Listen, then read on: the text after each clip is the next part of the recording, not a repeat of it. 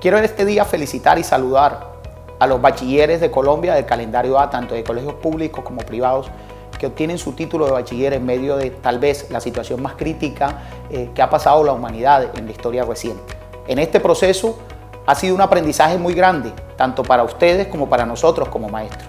Ustedes han desarrollado nuevas formas de aprender y nos han enseñado a los profesores nuevas formas de enseñar. A los estudiantes de grado 11 que se gradúan, les envío un gran saludo y muchas felicidades por alcanzar este nuevo logro en sus vidas.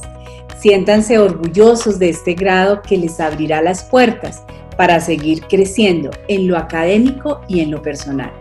Como rector de la Universidad de La Sabana, me complace hacer un saludo muy especial a la promoción de estudiantes de colegios públicos y privados que se gradúan de bachilleres. Ante la calamidad caben dos actitudes, la frustración, la rebeldía, la protesta interior o exterior. ¿Por qué me tocó a mí? ¿Por qué no puedo graduarme como siempre lo había soñado? O la actitud más humana, de personas con una formación integral como la que ustedes han recibido. Estimados graduandos, quiero extenderles un saludo de felicitación de parte de la Gobernación de Cundinamarca y la Secretaría de Educación. Hoy ustedes se gradúan en un año muy difícil. Se gradúan no solo de bachilleres, sino también como parte de la generación que no se paralizó en un mundo que por momentos pareció detenerse.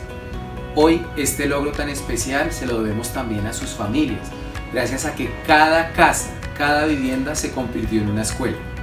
También a los docentes y directivos docentes, que con su esfuerzo lograron llegar a ustedes a través de una pantalla, de unas guías, de un mensaje de texto, inclusive de una llamada telefónica. Hoy me quiero unir a esta especial celebración y felicitar a los jóvenes que lograron obtener su título de bachiller en un año que no ha sido fácil para nosotros, que nos ha enfrentado a situaciones y retos hasta ahora desconocidos, pero que a su vez nos han enseñado cuán lejos podemos llegar de manera individual, pero también como sociedad.